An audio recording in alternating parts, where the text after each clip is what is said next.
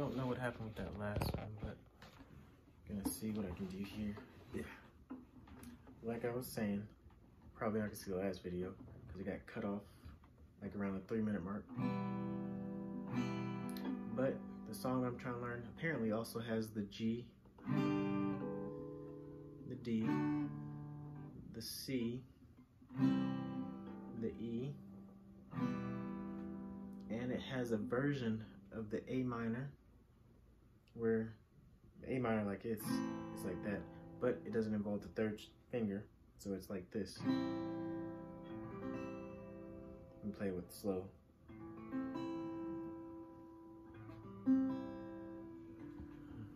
So G, the A minor, it's it's definitely in the key of G, which is awesome because it's a song that I used to that I used to have on my phone because I ran to it all the time.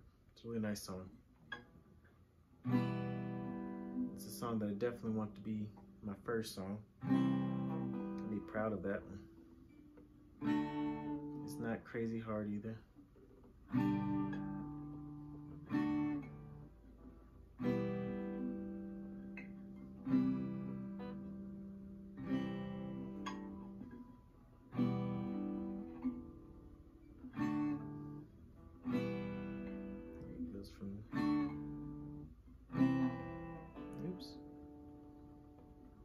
Take it easy sometimes.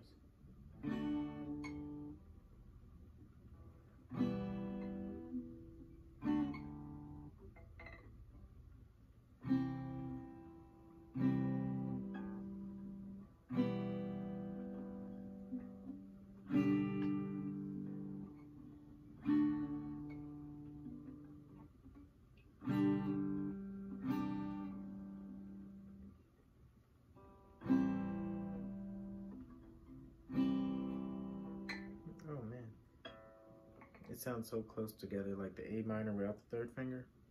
Let me see. This without the third finger, A minor. Now this is.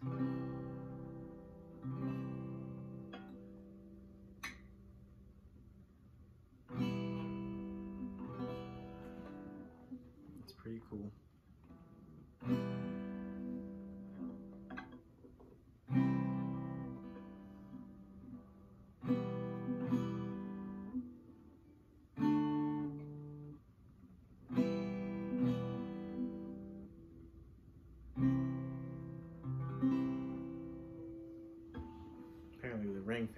Down pretty hard because it was way up here basically touching the fret that it's not even supposed to be close to.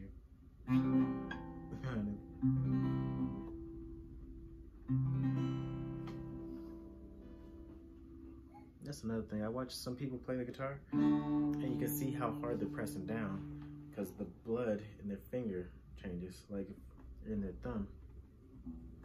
Or at least you can tell they're pressing down a lot harder. So it kind of gives me an idea how much pressure I can use when transitioning chords.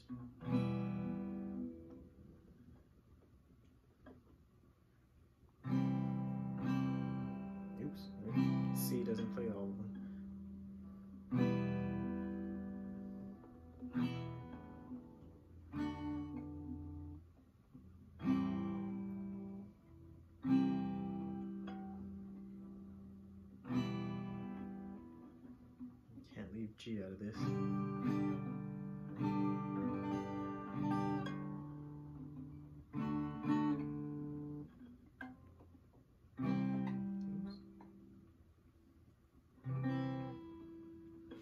I also need to cut down on my fingernails. They're starting to get to a point where they might be slightly in the way.